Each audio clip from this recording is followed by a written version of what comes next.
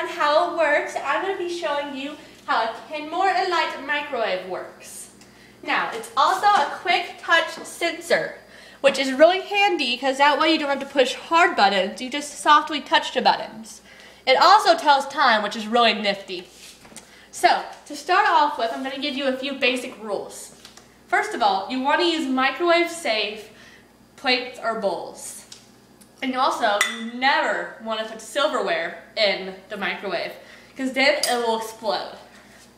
I'm also going to tell you a few of the systems. You can cook popcorn, potato, rice, reheat, canned vegetables, fish or seafood, and tons of other choices.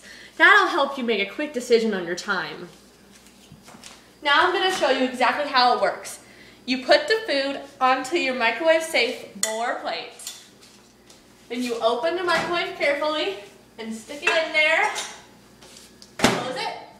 And then we're gonna do two minutes, just so it can heat up some. I'm not just gonna run it the whole time. So we're gonna start it. Oh, wait, wait. The silverware. I'm just trying to quiz you a little bit.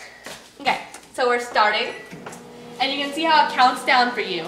Now as it's heating, I'm gonna show you how you can add a minute. See, it added a whole minute up there. It's at power 100. Remember, power 100 is usually the normal one. But you also have auto cook, kitchen timer, clock options, anything you want. Now, we're gonna go ahead and stop this. And also, you might want to use like a towel or a hot pad or something to get the plate or bowl out of there since it might be kind of hot. Most bowls or food will be unless you have a special one made for you. Remember, close it carefully. Do not just slam it shut. Now, we're going to cut this.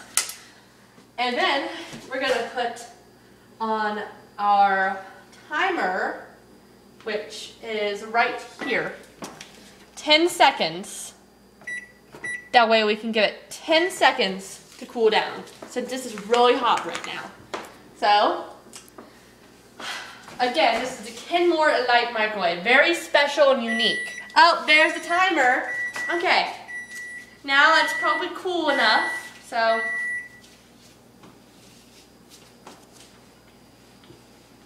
delicious.